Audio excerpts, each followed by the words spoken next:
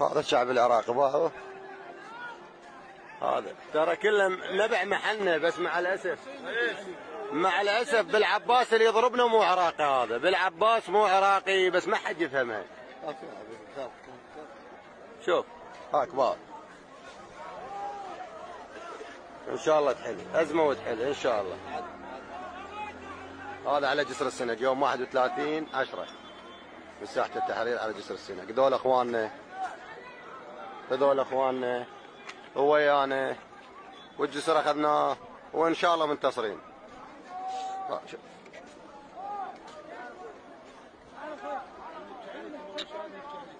لا حول ولا قوة إلا بالله. بالعباس هذا اليوم الشارع انطى عدد موته وجرحه. أكثر